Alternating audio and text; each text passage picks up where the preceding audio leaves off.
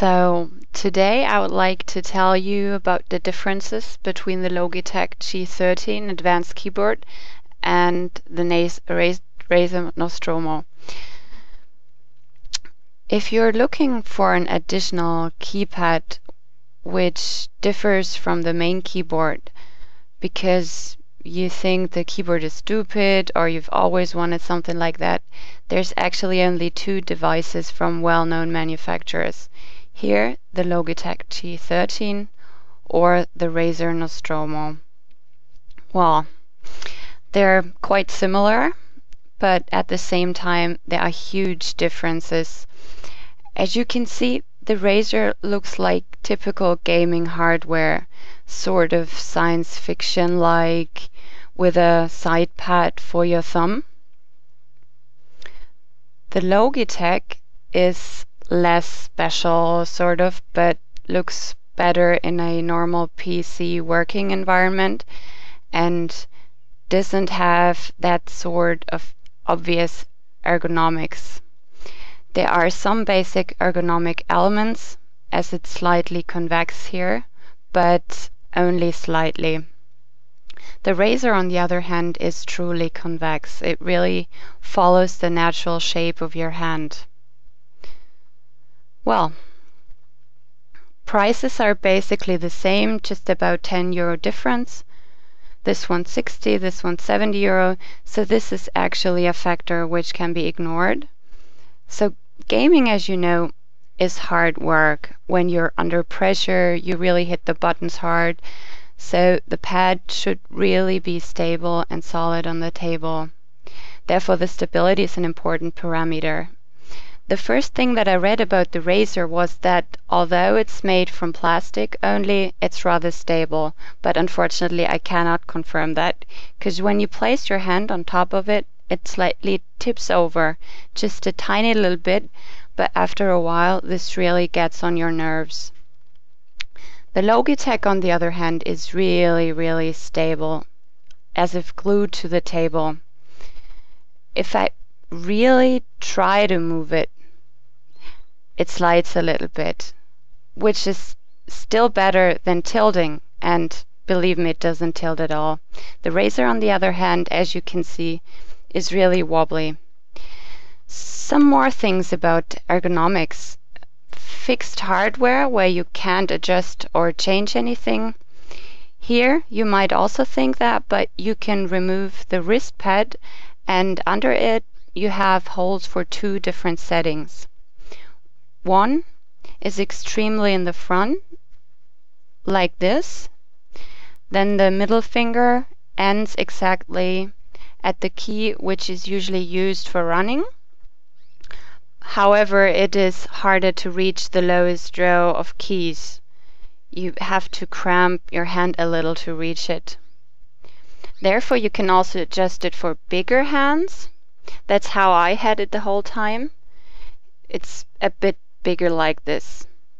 Unfortunately, it seems like they have designed this for giant hands, or I don't know. Because here there's a button for your thumb, which is similar to the space bar, and I would say that 90% of gamers will use it for jumping. In normal use, you can hardly reach it. You can certainly try to get a get a better movement radius by stretching your thumb 10 minutes every day, but who wants to do that? I took it into consideration for a second, but dropped the idea then. Like I said, that's this for ergonomics. Here it's quite alright. Like this is how the hand would be during gaming. You can easily reach the small joystick, but the extra key below is a little harder to reach.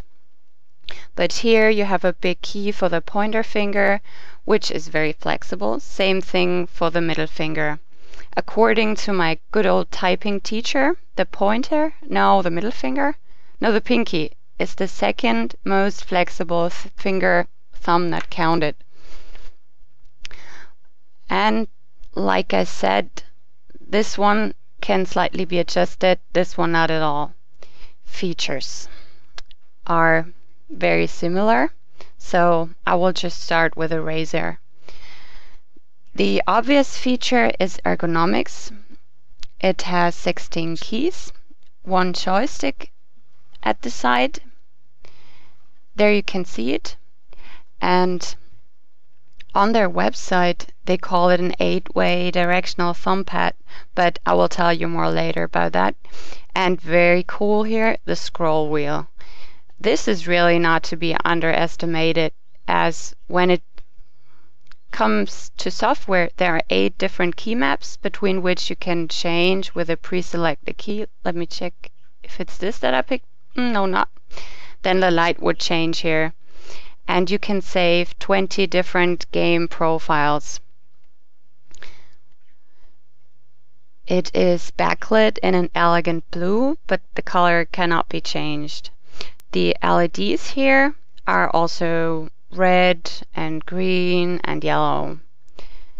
And on the important keys here where you run backwards, it has raised bars like on the home keys of a normal keyboard. These are actually the standard features which are also on the website. The Logitech G13 has 26 um, 25 programmable keys. Here, the 22 G keys, the big area here. Then you also have the two thumb keys and the joystick key. But actually I would leave that out because it's really hard to actually press it and not push it forward or backward, so I wouldn't configure it. Another thing on the feature list is here the four-way joystick.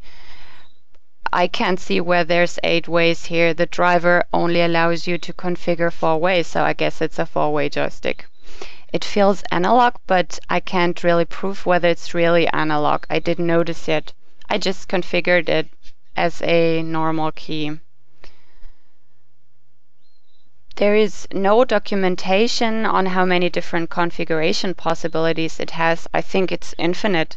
And for each configuration, you have three profiles. You can switch between these with the M keys here. I'm doing it. Hold on. Also, the color changes a bit.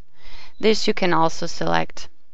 The backlight color is not only blue, as you see yourself, also red, you can also read this on the website. You can choose that individually. I'll show it briefly, but for this I will turn off the light.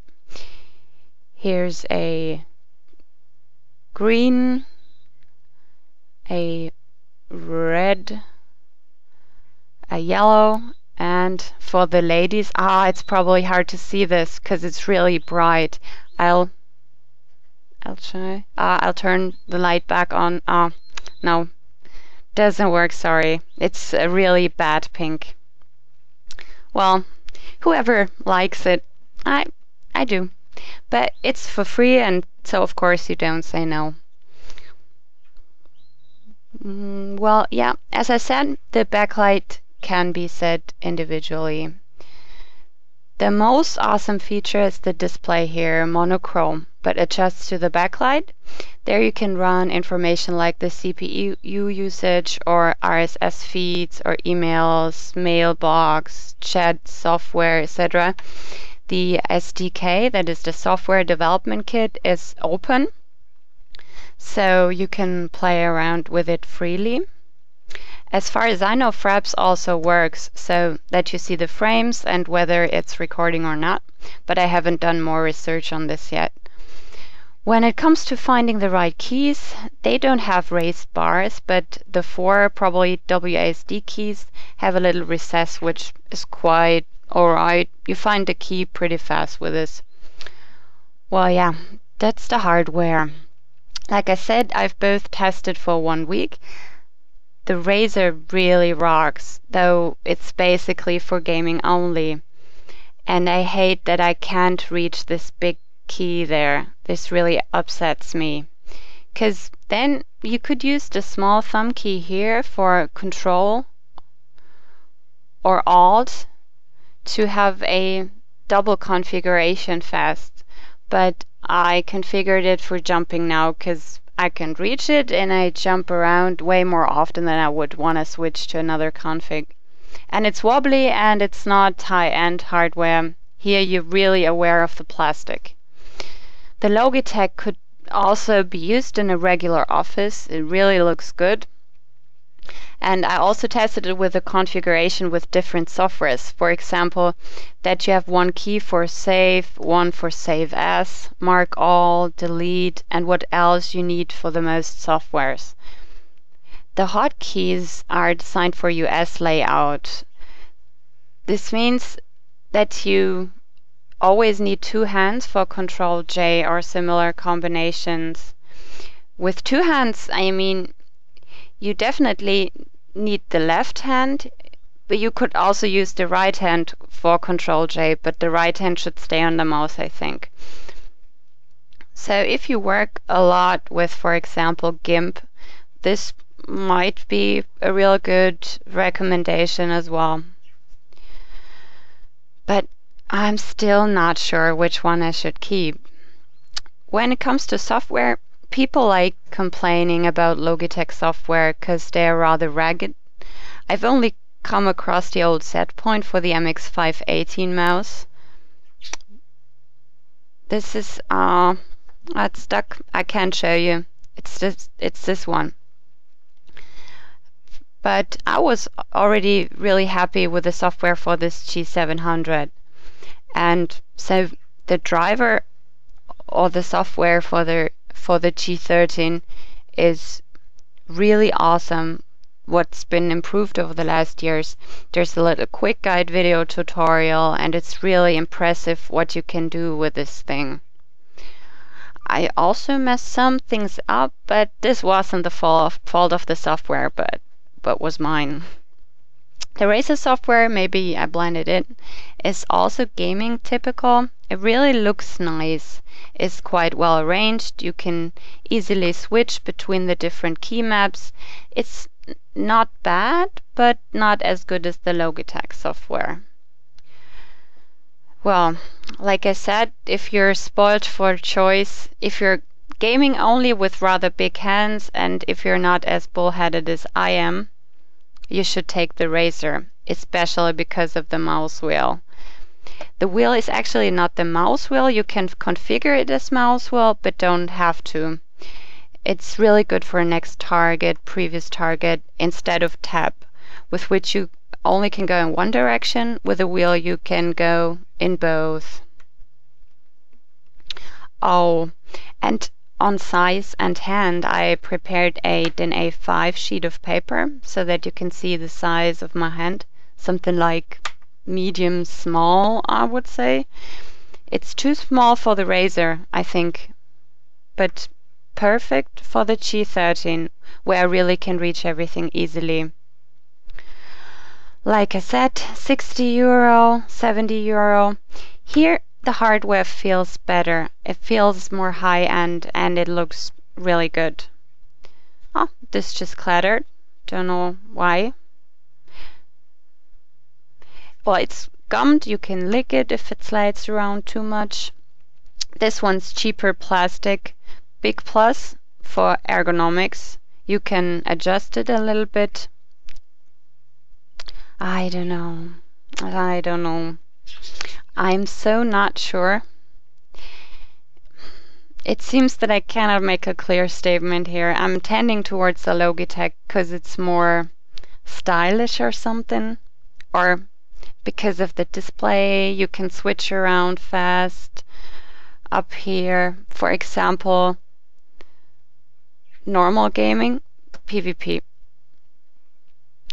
Here you always have to remember which lamp is on at the moment. In addition, the LCD tells you what you've just done. For example, I just pressed a key and it can be read here. I will have to return one of the two tomorrow, which means that I will keep this one for sure and this one maybe. I know you don't need two, but ah, this is also so nice. I know that I probably didn't help anybody, but anyway, Bye bye.